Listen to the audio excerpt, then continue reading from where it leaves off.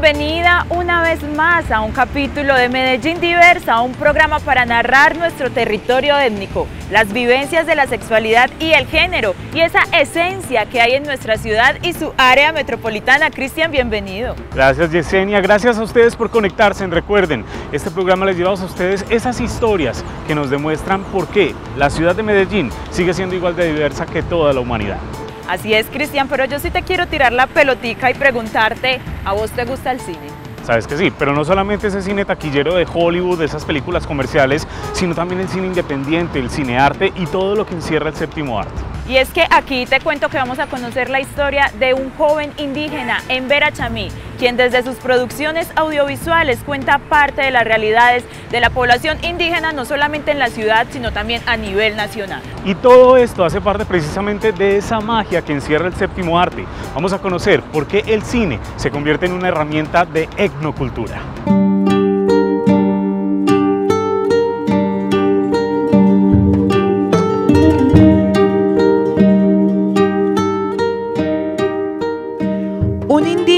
En Vera Chamí de Anserma Nuevo observa el mundo a través de su cámara fotográfica para descubrir historias, construir relatos y amplificar las voces valiéndose de la magia del séptimo arte. Nueva generación de Sabubarran, mira, ahora va. Bueno, sereno es que el deseo más grande de este hombre dado a luz en tierras vallecaucanas es hacer cine del bueno, así como el apellido que le heredó a su madre Rosalba Bueno Tapasco, cuyo fallecimiento fue motivo suficiente para que Isaí Muñoz Bueno articulara el cine con esa búsqueda de sus raíces indígenas que durante años lo llevó a cuestionar prácticas y rasgos propios de los pueblos originarios. Desde nuestros pueblos se habla mucho de la comunicación y la comunicación está en todo, ¿cierto? Incluso en nuestros sueños. Y pues yo soñaba mucho con mi madre y yo no conocía la familia de mi madre.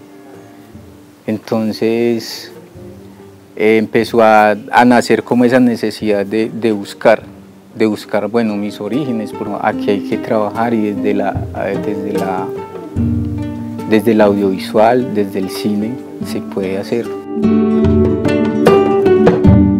Hace 14 años, junto con dos de sus seis hermanos y su abuela paterna, Ana Céfora Muñoz, llegó a Medellín con el propósito de avanzar en términos académicos y económicos. Fue aquí donde el cabildo indígena Chicarihuá, el más antiguo de la ciudad, le abrió las puertas para que pusiese en marcha el hallazgo de sus raíces y además para darse cuenta de que había mucho por contar sobre las realidades indígenas. Aquí al cabildo Chicarihuac fue a la, primera parte que llegué, donde me abrieron las puertas, me dijeron, dígame dónde era su madre, dígame... Eh, de dónde provienen, si tienen familia por allá, su apellido, el apellido de mi madre. Vamos a ver de dónde es. Ahí empieza uno como también a, identificarse, no solamente porque me tengo rasgos, sino desde adentro. Eso hay que contarlo, hay que decir que habemos más de 100 pueblos indígenas en Colombia, que se hablan más de 60 idiomas originarios, ¿cierto? Que hay, que hay una simbología, que hay una espiritualidad propia. Inconformismo frente a las representaciones que percibe de las personas indígenas. En el cine y en los medios de comunicación lo han motivado a sumergirse en el mundo cinematográfico con un enfoque etnoeducativo, siendo esta una contrarrespuesta a aquellas formas limitadas de reflejar las cosmovisiones y tradiciones de los pueblos nativos y reivindicar así esa herencia que en algún momento de su vida representó una molestia debido a las falacias audiovisuales emitidas en las pantallas grandes. Yo crecí crecí con unos imaginarios muy diferentes a, los, a lo que son nuestros pueblos originarios, ¿cierto? Siempre eh, en los medios hegemónicos, incluso en las películas, en los western, y aún todavía. Eh, viendo que, los, los indígenas o los pueblos originarios eh, se presentaban como salvajes, como ignorantes, como algo que nadie quería hacer. Y desafortunadamente en algún momento eso me tocó a mí, yo no quería representarme ni, ni, identificarme como indígena. Entonces creo que es muy importante que desde nosotros mismos nos empecemos a representar como somos y mostrarle a la, a la gente que tenemos mucho que, que aportarle también a la sociedad. Y aunque recién inició el proceso para hablar su lengua materna, todos sus trabajos audiovisuales los ha realizado en lenguas originarias, en los que resalta además esos caminares que representan el tránsito de la vida en armonía con la naturaleza.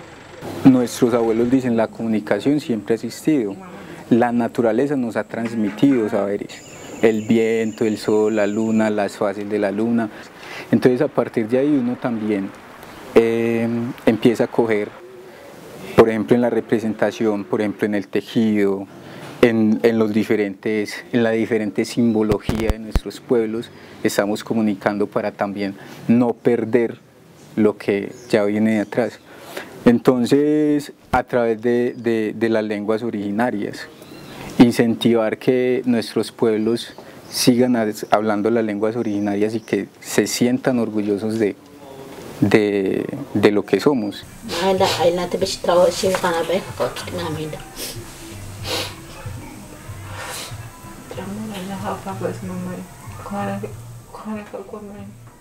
Sexilio es el nombre de la producción más destacada hasta ahora de este cineasta que se ha dedicado al séptimo arte y que cree que esta estrategia independiente que ha adoptado permite el autorreconocimiento y el fortalecimiento de la etnicidad y es con la que espera revelar la riqueza y la diversidad de los 102 pueblos indígenas identificados por la Organización Nacional Indígena de Colombia, que habita en el país y garantiza la multiculturalidad en el territorio. Y eso ha ido enriqueciendo también mi, mi, identidad, que, siento que es importantísimo para poder comunicar también desde, desde lo propio ayuda a que los demás empiecen a entender y se empiece a derrumbar un poco de estereotipos sobre, sobre los pueblos originarios, sobre los pueblos indígenas. Una cámara, un micrófono, un trípode y un computador son las herramientas que motivan a Isaí a enunciar en el territorio el famoso luces, cámara y acción. Bueno, hay que entender mucho la cosmovisión de los pueblos no guiarnos por los estereotipos, por los imaginarios que se nos han creado, sino si tenemos curiosidad, acerquémonos, pero a partir de ahí empieza un proceso también de, crecimiento, de, armonizarnos también con, el entorno, con la tierra, con la naturaleza. Entonces creo que eh, es algo que, que no debemos juzgar a la ligera, sino empezar a acercarnos también para poder entender la riqueza que hay en nuestros pueblos.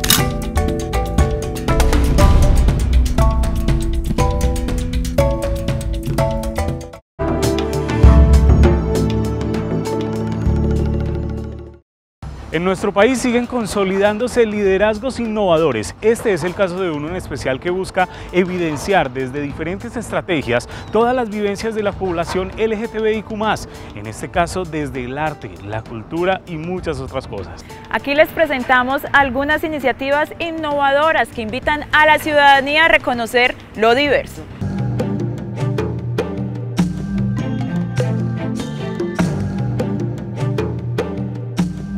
El desconocimiento y la imposición de la heteronormatividad durante siglos han llevado a las sociedades a censurar y criminalizar la orientación sexual y la identidad de género de personas pertenecientes a la población LGBTI, dándole paso a la estigmatización y al relego histórico de los miembros de esa población. Ante estas situaciones surgen ideas que le permiten a la población LGBTI el disfrute de sus derechos, iniciativas como las de Juan Pablo Gómez, un líder que desde sus diferentes formas de leer el mundo propone y ejecuta para hacerle frente a los estereotipos, estrategias originales y disruptivas que pudiesen considerarse como poco normales en la sociedad. A mí me parece que toda la, población de nosotros eh, sigue teniendo los mismos retos que tienen hace 15, 20 o muchísimos años pues, en, esta lucha. Es un tema de, discriminación, de igualdad de derechos, de eh, visualización. Sin embargo, eh, creo que Medellín poco a poco diferentes colectivos como el nuestro o diferentes personalidades y personajes han logrado poner como su grano de arena y hemos ido cambiando un poco esa perspectiva en los últimos años. Eh, todavía queda mucho camino por recorrer, pero igualmente pienso que hemos logrado pues como un gran avance en estos últimos años. Yo lo que hago como tal es simplemente vivir mi vida como soy.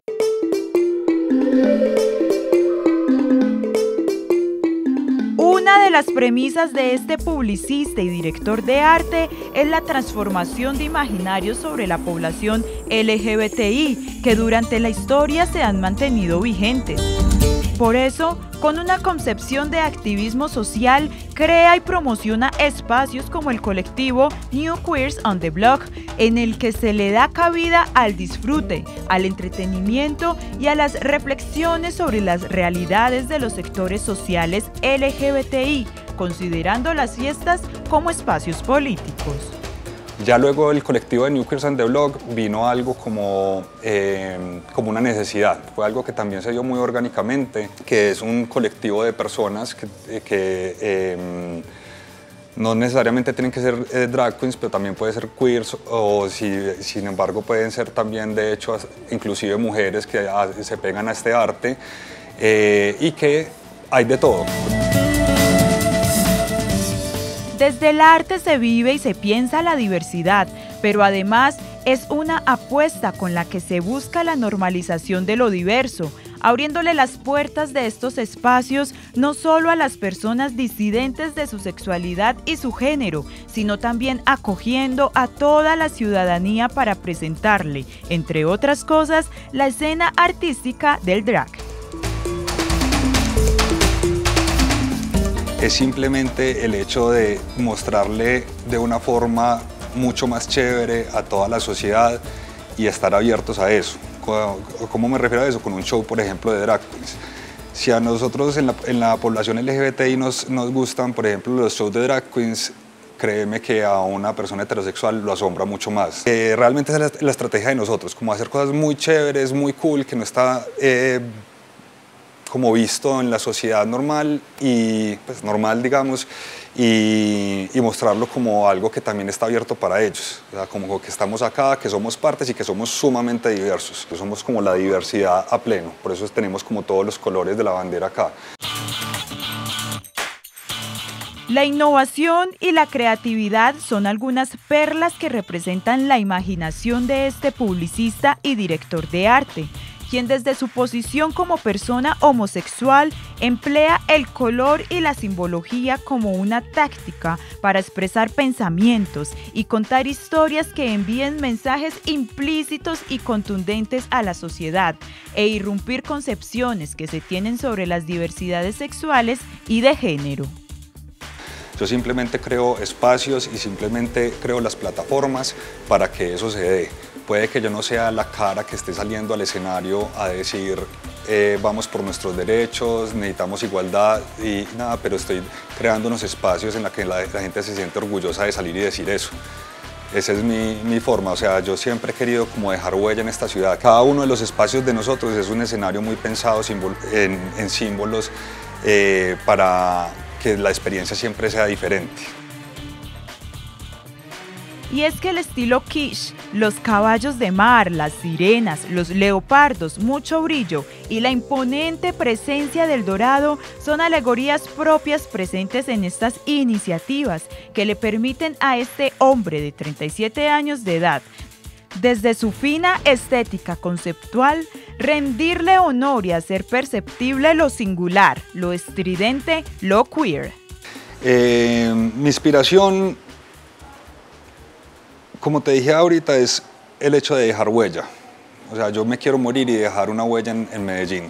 Pero es un trabajo del día a día, de que ustedes se pregunten cada día, ustedes qué huella están dejando en su ciudad, qué huella le están dejando a la sociedad, qué, qué ciudad le están dejando al mundo. La diversidad es hermosa, o sea, a mí me encanta todo tipo de diversidad y ojalá pudiéramos convivir todos con todos, con todos hombre con hombre, mujer con mujer y del mismo modo en el sentido contrario. Em, sí, definitivamente lo que nosotros necesitamos es mucho más aceptación hacia la diferencia y celebrar más la diversidad.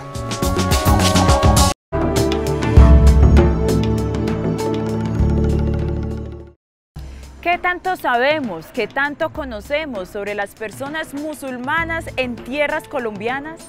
Pues acá en Medellín Diversa les traemos dos historias. La primera, un musulmán radicado acá en la ciudad de Medellín y también un joven colombiano que decidió practicar el Islam por convicción. Relatos que nos muestran otra cara de las personas que practican el Islam. قالت أنا يكون لي غلام ولم يمسسني بشر ولم أك بغيا. Hace seis años un egipcio llegó a tierras colombianas con el propósito de compartir las enseñanzas del Islam en el territorio, una religión abrahámica monoteísta que se practica en Egipto hace más de 1400 años y que hoy este musulmán de nacimiento desde la mezquita Ashalam continúa con la misión de difundirla. Cuando existe Allah, el Dios, sí, si puede practicar el Islam. Eh, Bismillah ar-Rahman ar-Rahim, en nombre de Dios, el compasivo, el misericordioso, mi nombre, Muhammad Rajab Abdul Mu'ti Ali Matar.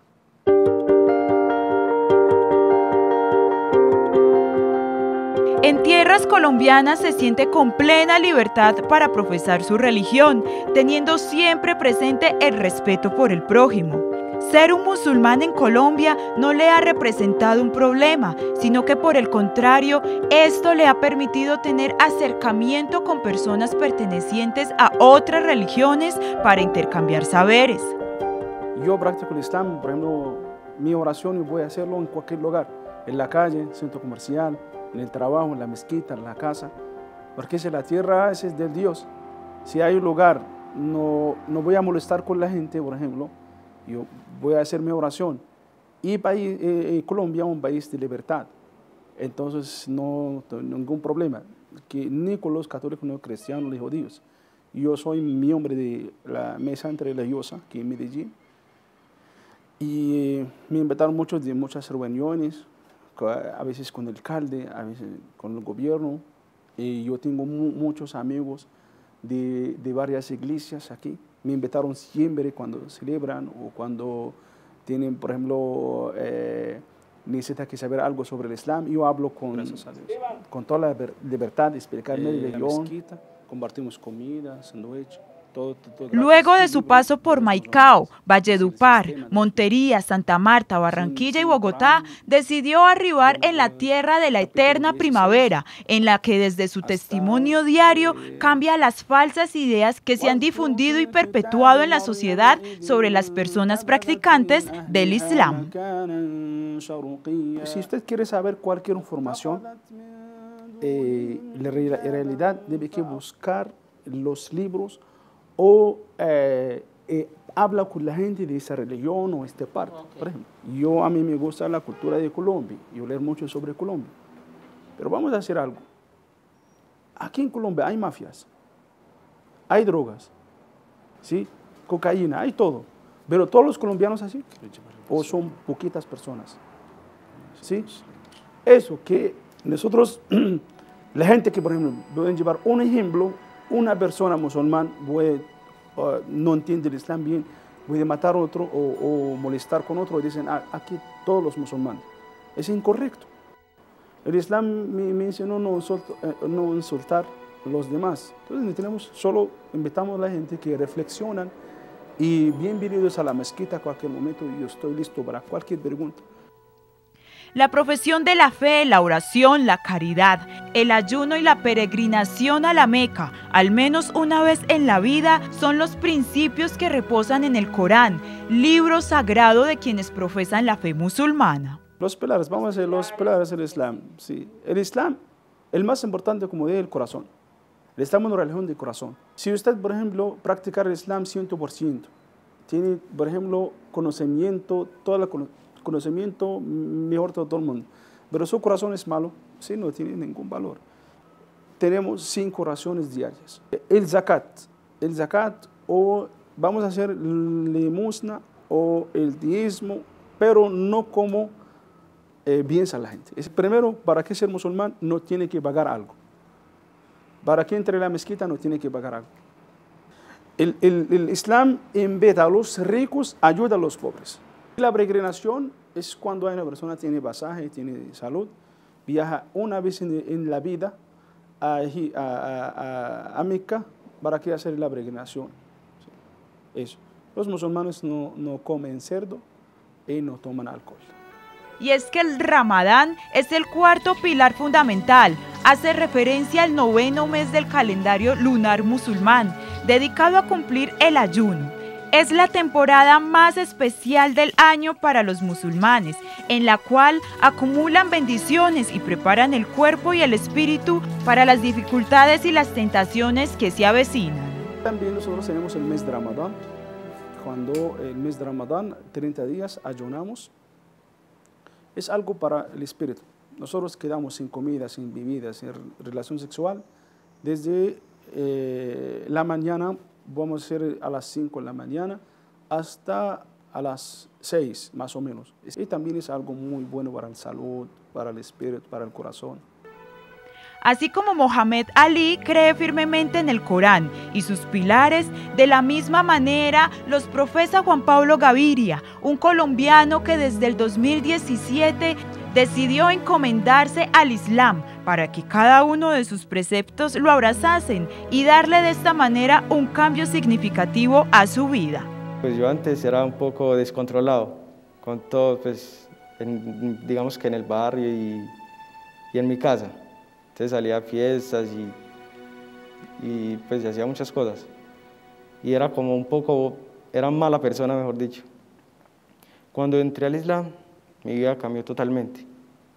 Pues ya, ya trataba mejor a las personas, eh, pensaba más en el otro que hay veces que en mí. Cambió mucho. Desde que me convertí al Islam, pues he sido, pues me convertí en una nueva persona, eh, soy mejor, pues digamos que no mejor que otra persona, no, sino en colaborarle al otro. Pues digamos que me esfuerzo para ayudar al otro con lo que yo pueda, porque Dios dice, cada obra buena es caridad. Si una persona, si por ejemplo un musulmán sonríe, es caridad. Si quita una roca de un camino, es caridad.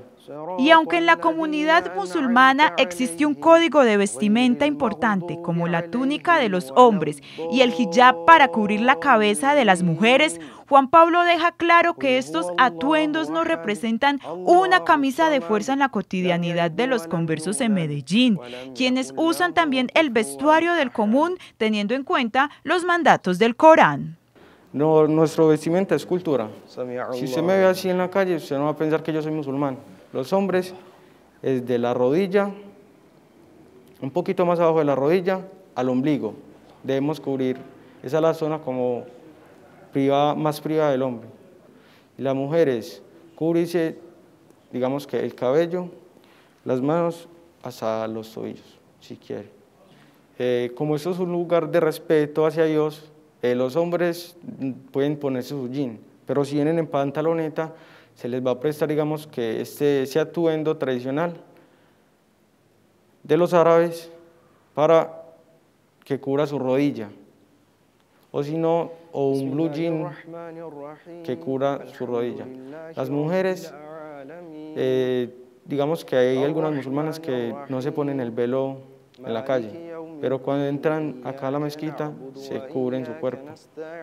Todos los días sin falta, este joven de 20 años de edad le dedica tiempo a sus enseñanzas del Corán en árabe y realiza las cinco oraciones del día direccionando su cuerpo hacia la Meca, la ciudad sagrada ubicada al nororiente.